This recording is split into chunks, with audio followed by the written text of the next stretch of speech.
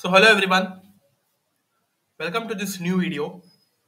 So as I told in my previous video, we are discussing with some of the important uh, scheduling techniques.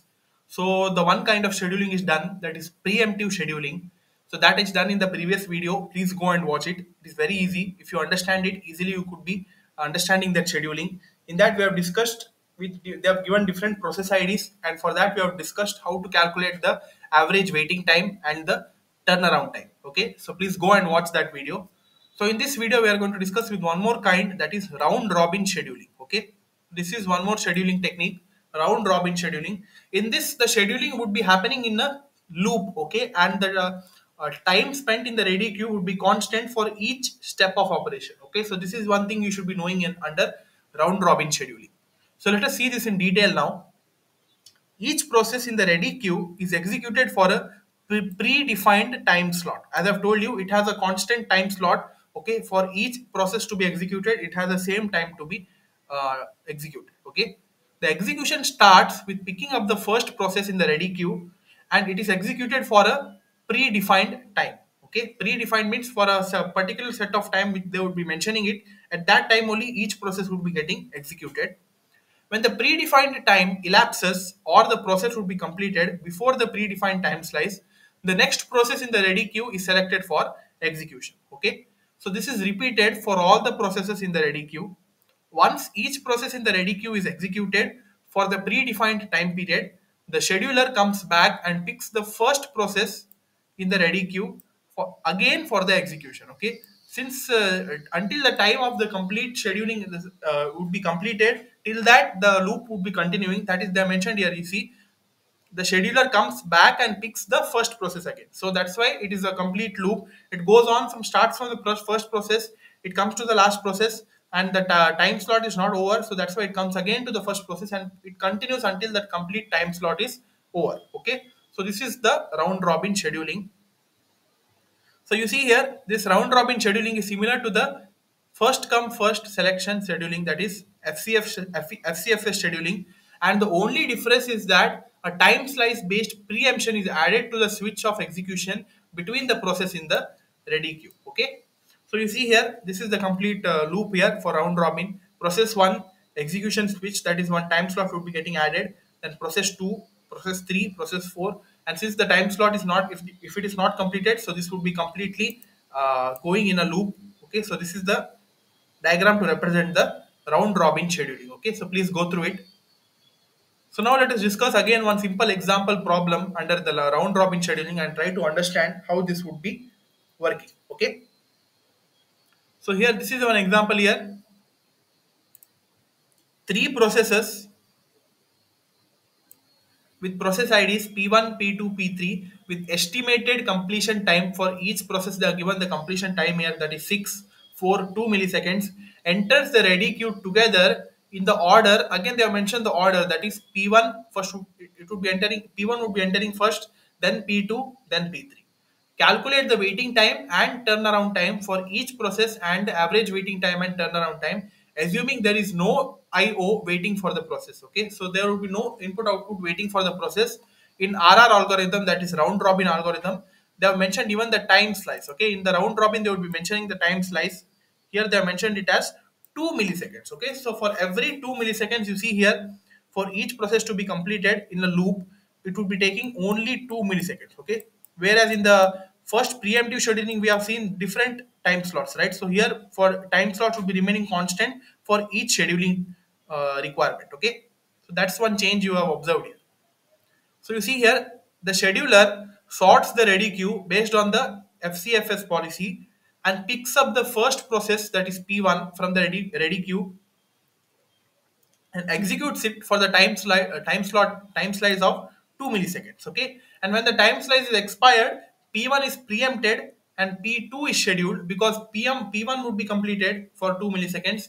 Now p2 is scheduled for execution that is uh, they have mentioned the order that is it is coming in the order of p1 p2 p3 so that's why next p2 is scheduled for execution the time slice again expires after 2 milliseconds and the execution of p2 is completed now p2 is preempted and p3 is picked for scheduling okay and again it completes its execution time within the time slice that is 2 millisecond and again the scheduler would be picking p1 for execution for the next time slice. So this procedure is repeated till all the process processes are serviced. Okay. The order in which the processes are scheduled for execution is represented as follows. So you see here, first P1 comes, it would be coming for uh, 0 to 2 milliseconds, then P2 that is uh, 2 to 4 milliseconds, then P3 that is 4 to 6 milliseconds. Now after that again, again you see P1 since uh, the time slot for uh, since after 6 milliseconds uh, since the time slot for p1 is not completed because the the p1 uh, they have given the estimated completion time for p1 they have given it as 6 milliseconds okay? But in the first first slot we have completed only 2 milliseconds. So still more 4 milliseconds are remain, remaining for p1 so that's why it is again repeated. So again p1 again for 2 milliseconds only it is come. That is from 6 to 8 so now uh, it was 4 now again again 2 milliseconds are over. So now 4 minus 2 the remaining time is 2 so till more 2 are remaining. So it would be executing again. Now after p1 again p2 would be coming. Since p2 initially was 4 after the first stage it has completed 2 so now the remaining time for p2 would be 2 milliseconds. So again it would be executing for 2 milliseconds. Now p2 is p2 would be completely com, uh, completed. Since uh, the completion time for p2 they have given it as 4 so p2 would be completed. And p3 since p3 initially they have given it as 4 2 milliseconds to complete it has already completed here. See here it has already completed. So that's why p3 would not come into the picture now. Again the remaining time for p1 is again 2 milliseconds that would be executing again up to 12 milliseconds. So p1 would be taking uh, till 12 milliseconds the whole procedure would be taking in the round robin. And you see here uh, six it was p1 was initially 6 at the first stage it has completed 2 so the remaining was 4 and the second stage it has completed 2 now the remaining was 2 at the final stage it has completed 2 so the p1 would be completed in exactly 2 millisecond algorithm. Then for p2 you see here initially it was 4 the first stage it has completed here. Then the second stage so 2 plus 2 4 it has completed. And p3 for 2 milliseconds you see here is the first stage only 2 milliseconds it has completed okay? So it would be taking time slice they mentioned it as 2 milliseconds to complete 6 4 2 milliseconds of p1 p2 p3 and this is the order mentioned here okay?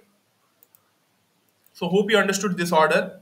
It's very easy if you understand the round robin algorithm okay so now the waiting time for all the processors are given as you see here. Waiting time for p1 they mentioned it as 0 plus 6 minus 2 plus 10 minus 8 okay that is 0 plus 4 plus 2 that is 6 milliseconds. So waiting time for p1 to complete we should be waiting it for 6 milliseconds. That is first p1 starts executing and waits for two time slices to get execution back.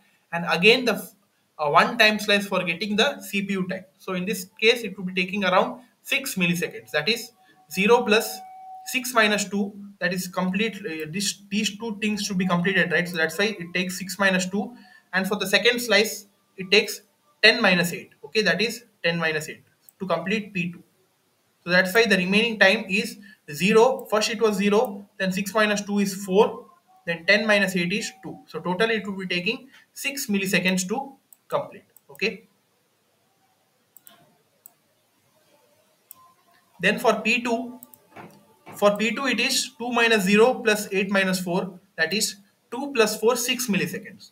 So here you see for p2 again it is 2 minus 0 at first okay? Then we have 8 minus 4 that is 8 p3 and p1 should be completed right? So that's why 8 minus 4 total time you should be uh, cancelling it down. 8 minus 4 so that's why 2 and 8 minus 4 is 4 so it would be taking around 6 milliseconds to complete okay? Next for waiting time for p3 again it is 4 minus 0 so you see here p3 is here. So since we have only one p3 so total time we should be waiting that is to complete these two that is p1 and p2 4 minus 0 if we take 4 minus 0 the answer would be 4 milliseconds. So the waiting times for p1 p2 p3 are 6 milliseconds 6 milliseconds and 4 milliseconds. Now average time is again easy. Just uh, take the sum of these three and uh, divide by 3 that is 6 plus 6 plus 4 divided by 3 that is 16 by 3 that is 5.33 milliseconds. So again turnaround time. Turnaround time formula remains the same. Time spent in ready queue plus the execution time. So for turnaround time for p1 is 12 milliseconds So because it has spent 12 milliseconds, you see here uh, total it has spent 12 milliseconds. These are the time spent in the ready queue plus the execution time. Execution time for P1 is 6 milliseconds, right? And time spent in ready queue, that is, it, it has taken around 6 milliseconds. So 6 plus 6 is 12. Similarly, for P2 and P3, it is 10 and 6. Okay. So add them and take the average, that is 12 plus 10 plus 6 divided by 3, that is 28 by 3. That is our answer. You will be getting it as 9.33 milliseconds. Okay. So this was about round robin scheduling, guys. I hope you understood. So this I have explained it with, with one example. Very easy one. You will be understanding it. Okay. So this was about round robin scheduling. So hope you understood it. That's all for the video, guys. Like, share, subscribe to our channel. Keep supporting. Thank you.